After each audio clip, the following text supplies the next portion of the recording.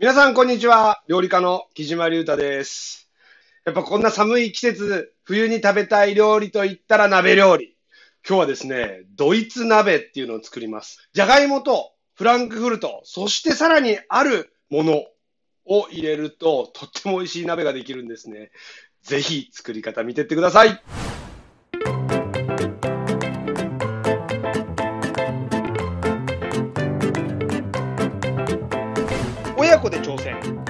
島隆太のおうちご飯。材料はこちらです。では、えードイツ鍋から作っていきますドイツだとザワークラウトっていうキャベツの漬物っすよね乳酸菌発酵させて酸っぱくさせた漬物があるんですけどそれをイメージして即席で作るザワークラウト風の、えー漬物を作っていきますまず、えーキャベツのこの芯の硬い部分をザクッと落とします。内側をこうバリバリって取っちゃうと切りやすいです。半分ぐらい切って短時間で浸かるようになるべく、えー細く切った方がいいんだけど千切りだとあまりに食感がなくなっちゃうので 5mm ぐらいに切ってってください。で切ったら、えーこの袋の中に入れていきます、えー調味料を入れていきます。まずお塩。そしてお砂糖。お酢を入れることで酸味を足していくと。お酢を入れるとこの砂糖もお塩も溶けやすくなるから浸かりが早いです。酸っぱくしたくない人はお水を入れてもいいかも。溶けるとじんわりこのキャベツからね水が出てくるのでまずは砂糖と塩を溶かすイメージで振ってってください。空気を少し入れてこういう風にフリフリすると溶けていきます。ある程度塩と砂糖が溶けてキャベツにまとわりついてきたらぎゅーっと空気を抜いて結んじゃいます。で時々こういう風に向きを変えながらね軽く揉んであげながらこのままね30分ぐらいつけてってください。続いて残りの具材を切っていきましょう、えー今日はですねこのじゃがいも、えー煮崩れしづらいメークインを使います。まず皮を剥いていきましょう。ピーラーで剥く時のコツは芋に対してこう垂直じゃなくてちょっとね斜めに角度を入れて剥いていくと剥きやすいです。スーッと力を入れなくても剥けます。スーッと。そういう感じね。はい綺麗に剥けました。芋を切っていきます。こんな感じでなんとなく大きさを揃えて切っていってください。23等分に切っていきます。芋が切れたら鍋に入れる直前まで水にさらしておいてください。玉ねぎを切っていきましょう。まず両端を落とします。この根元の部分は包丁を V 字に入れて根っこを取っておきます。そしたらあとは2センチ幅ぐらいのくし形に切っていってください。玉ねぎも切れました。続いてフランクフルト。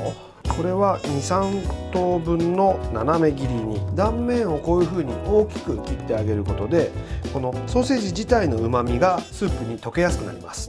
はいこんな感じで切ってください。今日はですねこの、え直径1 8センチ2 0センチぐらいかなこの放浪の鍋を使いますがもちろんあの土鍋でもいいし家にある適当なサイズのお鍋を使ってください。水気を切ったじゃがいも玉ねぎソーセージを入れます。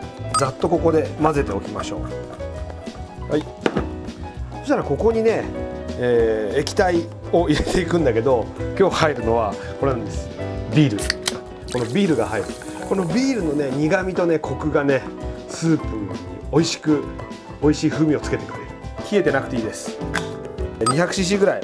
350のビール半分ぐらいかな。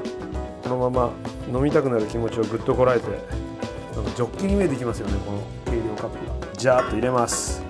ビールが入ったらお水を入れていきます。1リットルです。まずここでは塩とか何も入ってません。このまま煮ていきましょう。火をつけます沸騰するまで中火。沸騰したら弱火で。今日は蓋はしないでそのまま煮ていきましょう。さあちょっと見てみましょう。もうじゃがいもにもしっかり火が通ってます。そうしたら最後にザワークラウト風キャベツ。かなり水が出てるっていうことはもうしっかり使ってるっていうことなので。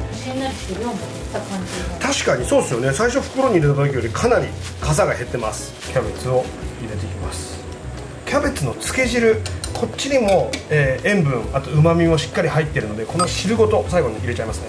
じゃっとそしたら、えーほぐしてキャベツにほんのり火を通していきます。でこの時点で一度味見してもらって塩分が薄いなっていう方はお塩を足してください。お塩を足したらここにバターを入れていきます。追いバター。仕上げに胡椒。あとはキャベツがしんなりしたら出来上がりです